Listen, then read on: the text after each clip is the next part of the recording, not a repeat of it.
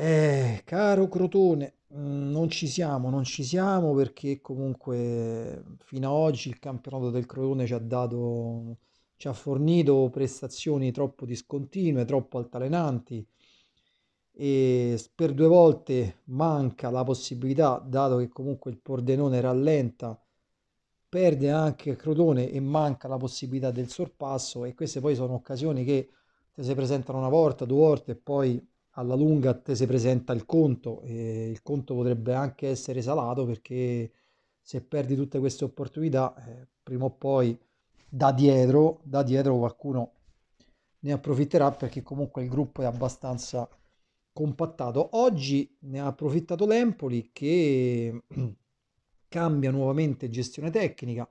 una stagione che potremmo definire fallimentare visto quelli che erano gli auspici a inizio anno. Ne fa le spese anche Roberto Muzzi, arriva Pasquale Marino e come tutti i cambi allenatore dà quella, quella verve, quella scossa, genera magari quell'amor proprio da parte dei calciatori e sfodera una prestazione sicuramente di livello oggi. Eh, non che il Crotone abbia sempre subito, perché poi a livello di occasioni nello specchio siamo tipo 6 a 4 per i padroni di casa, a livello di possesso palla però siamo lì a livello di occasioni create, di volume, insomma, di gioco spostato in avanti, il Crotone anche grazie a un secondo tempo ha fatto anche qualcosina in più, però tutto sommato l'Empoli è più una prestazione più gagliarda, più, più concentrati, più efficaci. e in tre minuti in pratica risolve la gara perché prima il vantaggio di Tutino, sempre più elemento importante all'interno, ecco, forse di tutti gli acquisti è quello proprio che ha dato la svolta. E poi ritorna il gol anche di, di Mancuso che fa scendere questa palla e poi tira una sta affilata all'angolino. E poi c'è stato il eh, Crociata che accorcia le distanze, ma più che altro il portiere perché si è lasciato sfuggire una palla che poi ha sbattuto sul palo è entrata, quindi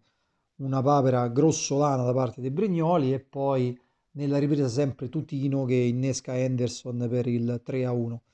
Quindi niente, mh, staremo a vedere per il momento l'Empoli si toglie dalle sabbie mobili, staremo a vedere se è in grado di dare continuità a questo risultato oppure fra 3-4 partite salta pure Marino e poi non so a chi cazzo si, si rivolgono. Effettivamente stagione fallimentare e per il Crotone sì, si può ancora raddrizzare la stagione per carità, però insomma